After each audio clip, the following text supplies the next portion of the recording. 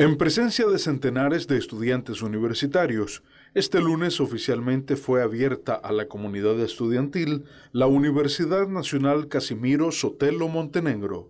Una universidad 100% gratuita gracias a nuestro comandante Daniel y nuestra compañera Rosario.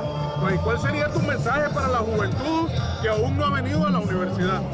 Invitar a toda esa juventud nicaragüense a que vengan a ver la oferta académica que tiene esta universidad pública. El acceso a la educación superior ya es una realidad. Estas universidades del pueblo permiten que el hijo del obrero, el hijo del campesino tenga la oportunidad, ¿verdad?, de profesionalizarse. Esta universidad abre la puerta del día de hoy para que la juventud siga fortaleciendo su proceso educativo, siga promoviendo, ¿verdad?, el desarrollo profesional, porque la educación nos transforma, la educación permite que los jóvenes, que la juventud sean agentes de cambio y eso lo ha garantizado el Frente Sandinista con el comandante Daniel y la compañera Rosario. El acto de apertura se realizó en las afueras del recinto universitario donde acompañados de música nicaragüense, las autoridades develaron una placa con el rostro del héroe estudiantil Casimiro Sotelo y realizaron el corte de cinta para posteriormente abrir los portones a la comunidad estudiantil. 180.220 estudiantes universitarios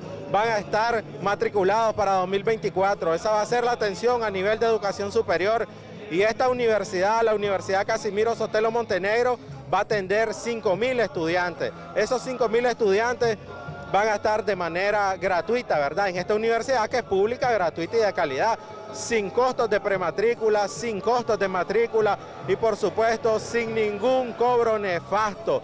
Hoy está abriendo al público sus puertas esta universidad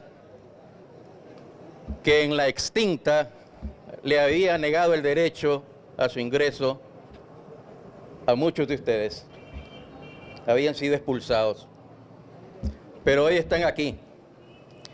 Hoy están acá y les, les agradecemos que estén acá por cuanto quiero que sean receptores de todo el cariño, de toda la calidez humana que el equipo de trabajo de la Casimiro Sotelo tiene para todos ustedes y para toda la nación. Para Crónica TN8, Rudy Contreras.